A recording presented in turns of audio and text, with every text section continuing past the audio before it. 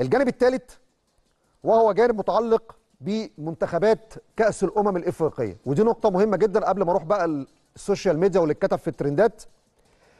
كأس الأمم هينطلق يوم 13 يناير. لقاء الافتتاح هيكون الساعة 10 بتوقيت القاهرة. على فكرة لقاء الافتتاح الساعة 10 بتوقيت القاهرة مباراة ما بين الكوت ديفوار مع غينيا بيساو. لو نستعرض مع بعض كده سريعا القيم التسويقية للمنتخبات المشاركة في كأس الأمم الإفريقية. المجموعة الأولى اللي فيها كوت ديفوار ونيجيريا وغينيا الاستوائية وغينيا بيساو فيها فارق كبير جدا في القيم التسويقية. اولا الكوت ديفوار 329 مليون يورو نيجيريا 450 مليون يورو غينيا الاستوائية 9 مليون يورو غينيا بيساو 23 مليون يورو. نحط هنا بس خط كده عند نيجيريا أعلى قيمة تسويقية 450 مليون يورو. نروح للمجموعة الثانية مصر 131 مليون يورو. غانا 284 مليون يورو. كاب فيردي الرأس الأخضر 21 مليون يورو. موزمبيق 3.9 من عشرة مليون يورو. يعني انت بتتكلم كوت ديفوار نيجيريا مصر غانا. نروح للمجموعة الثالثة. السنغال 263 مليون يورو. الكاميرون 171 مليون يورو. غينيا 74 مليون يورو جامبيا 31 مليون يورو. يبقى لغاية دلوقتي في الثلاث مجموعات مصر تأتي في المركز السادس. تأتي في المركز السادس. طب نروح للمجموعة الرابعة. الجزائر 180 مليون يورو.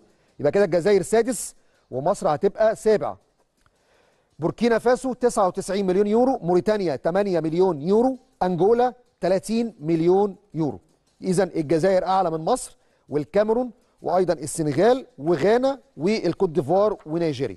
نروح لتونس. 59 مليون يورو. مالي 163 مليون يورو. يبقى مالي ساعتها هنا هتبقى في المركز السابع ومصر ترجع للمركز الثامن في الأعلى القيم التسويقية. جنوب إفريقيا 21 مليون يورو. ناميبيا 5 مليون يورو. نروح للمجموعة السادسة المغرب 374 مليون يورو. وبالتالي أعتقد كده المغرب تأتي في المرتبة الثانية في المركز الثاني بعد نيجيريا. وبالتالي مصر تعود من ثاني للمركز التاسع. الكونغو الديمقراطية 107 زامبيا 32 مليون يورو تنزانيا 5 مليون يورو. تنزانيا لعب معاها مباراة ودية إن شاء الله يوم الأحد اللي جاي.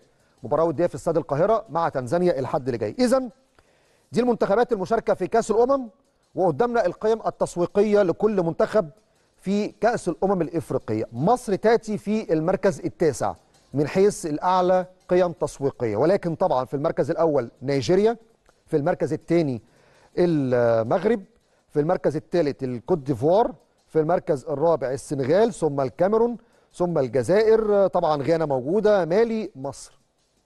طبعا قيمة القيمة التسويقية لمصر وصلت 31 مليون يورو بسبب وجود محمد صلاح. أعتقد من غير صلاح يعني ممكن نوصل لنفس أرقام غينيا أو جامبيا أو حتى بوركينا فاسو.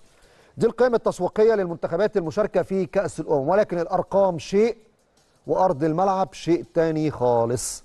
أوقات كنا بنروح كأس الأمم ب 23 لاعب محلي.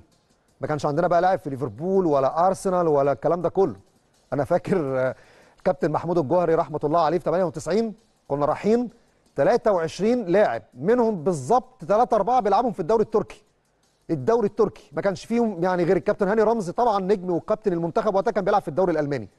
وقتها خدنا كاس الأمم الإفريقية. قدام منتخبات عندها لعيبة بتلعب في برشلونة وفي وفي أكبر الأندية الإنجليزية. فالأرقام التسويقية حاجة والملعب حاجة تانية خالص. نتمنى يا رب التوفيق لمنتخبنا في مشوار كأس الأمم. طيب